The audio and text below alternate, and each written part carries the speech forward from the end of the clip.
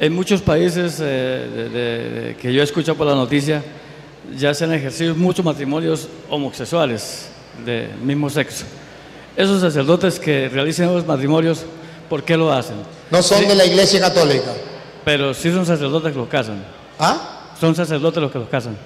Pero sacerdotes de la iglesia católica, ningún sacerdote de la iglesia católica tiene autorización o permiso para hacer eso.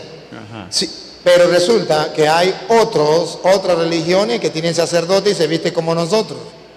Y eso sí permiten el matrimonio homosexuales.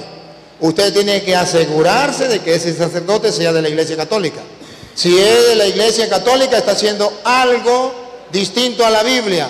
La Biblia dice, Mateo capítulo 19, versículo del, vamos a leerlo desde el versículo, leámoslo desde el versículo 3 en adelante, para que usted escuche y usted se dé cuenta lo que dice la Biblia. Y ningún sacerdote tiene permiso para casar homosexuales. Eso no lo dice la Biblia. Pongan cuidado lo que dice la Biblia. Se le acercaron unos fariseos y lo pusieron a prueba con esta pregunta.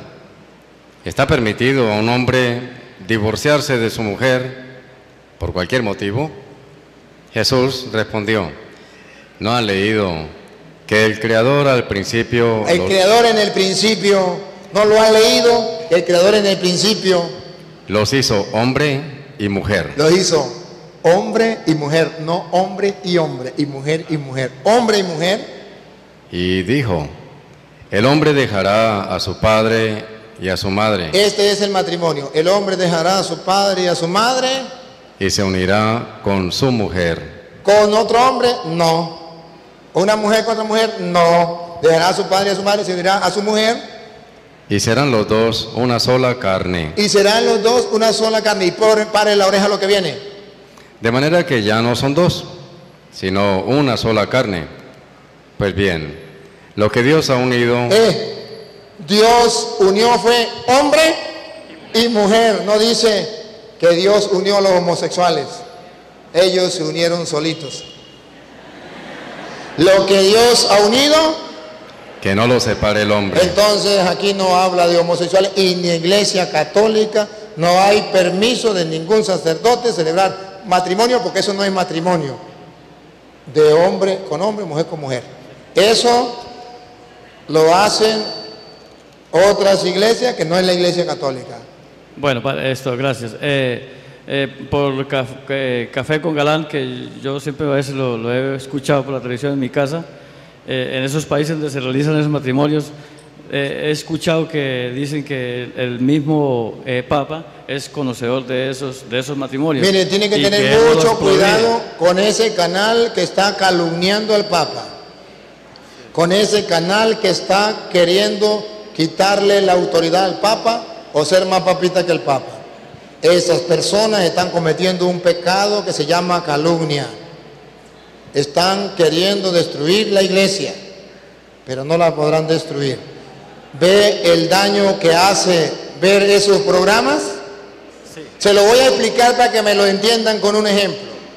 Me acabo de encontrar en Estados Unidos a una señora que me dijo, padre, me ha pasado algo catastrófico. Y yo le dije, ¿qué es ella? Me dijo, sabe que tengo una niña y tengo un niño. Sí, sí.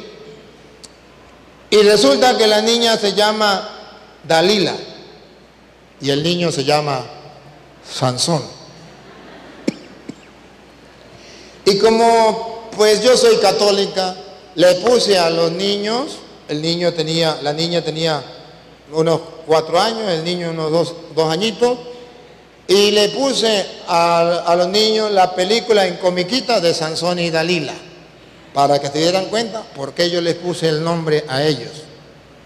Le puse el nombre, le, puse la, la película, vieron la película y yo me fui al trabajo.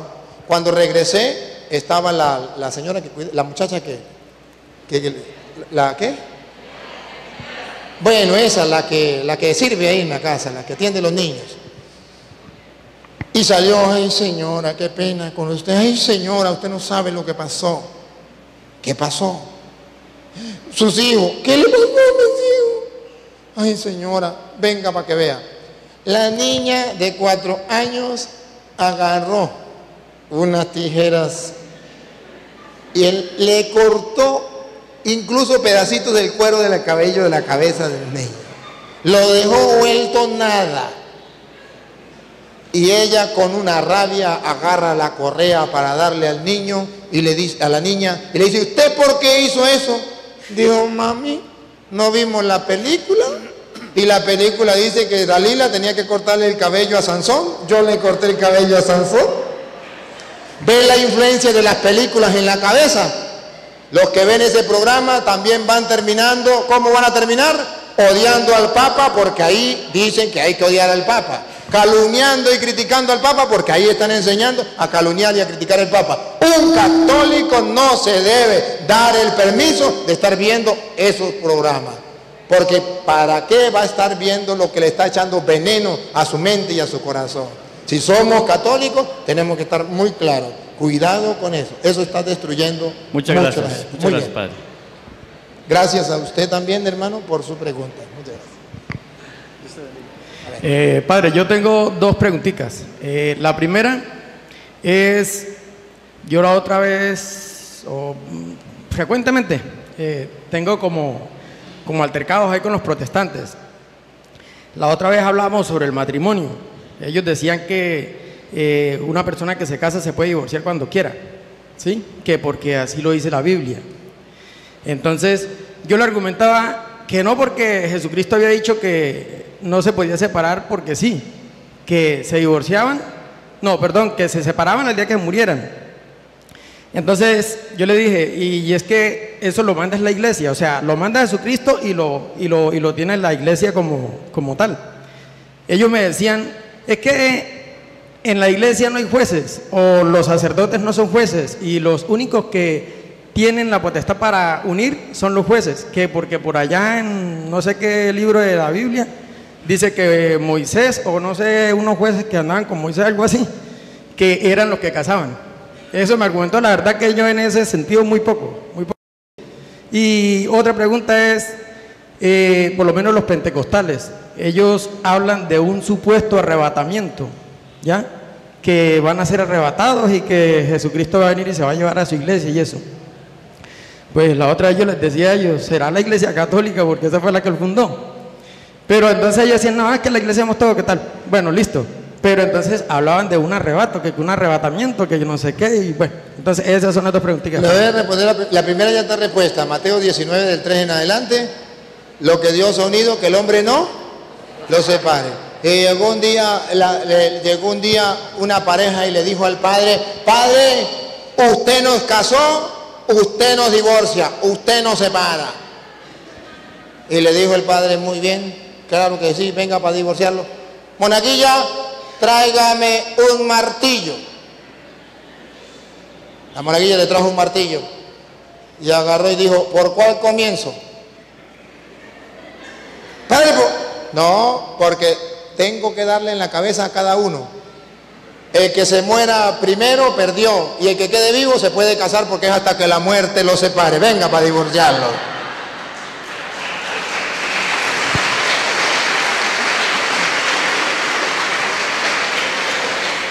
Eso es lo que dice la Biblia. Ya los protestantes, por eso lo llamamos protestantes. Porque protesta. Me dijo un protestante, no me diga protestante. Le dije, pues no proteste. A ver, eso se llama protestar. Pero la Biblia está clara, ya le di el capítulo y versículo. Mateo 19 del 3 en adelante no está permitido. Y más todavía, dijo, ¿y por qué Moisés le permitía que se divorciara? ¿Y cuál fue la respuesta? Por la dureza de su corazón. Pero al principio no fue así. Los que se divorcian es porque tienen duro su corazón y no creen en el Señor. Ahora, la segunda. Cuando un protestante venga con el cuento del arrebatamiento, le voy a dar un secreto. Dígale, claro que sí, nosotros creemos en el arrebatamiento. María fue arrebatada en cuerpo y alma al cielo, claro que sí. Ella ya se fue y ahora pues seguimos los demás. El Señor viene a arrebatar. Ah, no, pero María, María, no, María no. Ah, María no, pero ustedes sí, sí pueden ir al cielo en cuerpo y alma. Vagabundo sinvergüenza, mentiroso. Eh, nosotros creemos que vamos a ir, que Cristo viene a llevar su iglesia a morar con Él. El día en que se acabe el mundo o el día en que cada uno se vaya muriendo, se va a ir con el Señor. Y un día vendrá el Señor a llevarnos. Eso es verdad. Eso es verdad.